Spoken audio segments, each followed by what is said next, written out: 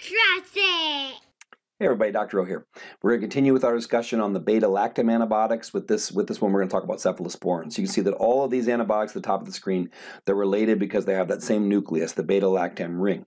Now, a couple couple things make cephalosporin um, very advantageous. Number one, you'll see that the cephalosporin beta-lactam ring there is attached to a six-carbon ring instead of a five-carbon ring, making the right side of that structure bulkier. It actually makes it harder for the beta-lactamases, the enzymes that some bacteria produce, to chop up this antibiotic, makes it harder for them to get at it, which means that this is going to be a more effective drug against some of your drug-resistant strains.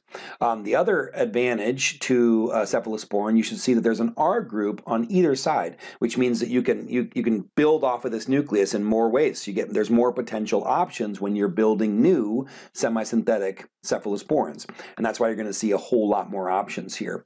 All right, uh, it is it's as effective at killing gram-positives as penicillin and all the semi-synthetic penicillins is. It's actually uh, has a broader effect against gram-negative bacteria. So there's a lot of reasons to, to, to like this type of antibiotic. Um, I mean, just real quick history. They found it in the 50s from a Cephalosporium acremonium, I, I believe, is the fungus where that where they first isolated it.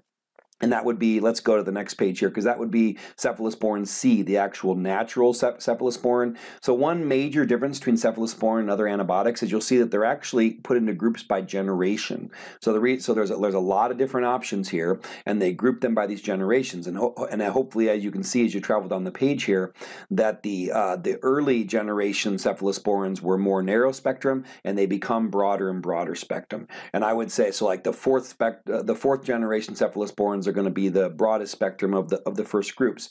I want to specifically highlight the fifth generation cephalosporins though because these have been developed specifically to combat MRSA, right? So MRSA is your methicillin resistant Staphylococcus aureus, and I've talked about this in other videos, but I want to be clear that MRSA is a superbug, which means that it's it's resistant to multiple drugs, not just methicillin.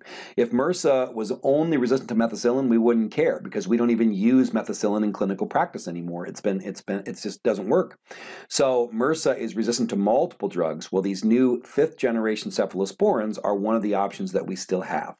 Um, examples of cephalosporins would be Ancef and Keflex would be the first two that come to mind.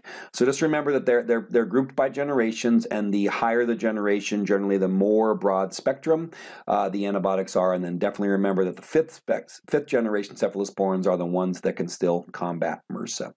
All right, I hope this video helps. Have a wonderful day. Be blessed.